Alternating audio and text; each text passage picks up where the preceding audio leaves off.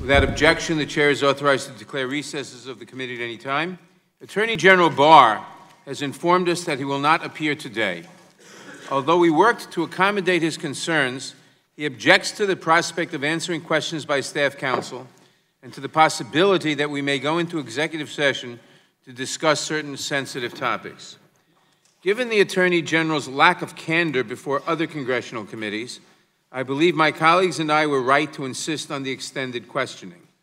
But even if Democrats and Republicans disagree on the format of this hearing, we must come together to protect the integrity of this chamber. The administration may not dictate the terms of a hearing in this hearing room. The challenge we face is bigger than a single witness.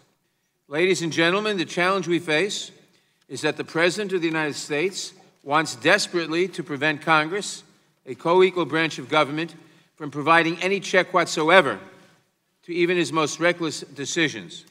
He is trying to render Congress inert as a separate and co equal branch of government. The challenge we face is that if we don't stand up to him together today, we risk forever losing the power to stand up to any president in the future. The very system of government of the United States, the system of limited power, the system of not having a president as a dictator is very much at stake. But the reason Bill Barr is not here today is because the Democrats decided they didn't want him here today. That's the reason he's not here. You could have done anything else you wanted. And what is amazing to me is to say that he is scared of answering questions, to scared that he not. And you can disagree with the Attorney General all you want, but for yesterday, he sat for over almost six hours in the Senate voluntarily asking questions, even on a second round that was taken up by Democrats who wanted to ask more questions. And you can agree did he do good? Did he do bad? It doesn't matter, but we're not getting that opportunity today because the stunt and the circus continues over here. The question I have here is not what Bill Barr is scared of. My question is what are the Democrats scared of? They don't want Bill Barr here today. They've had the report, they've read it, they don't like what's in it.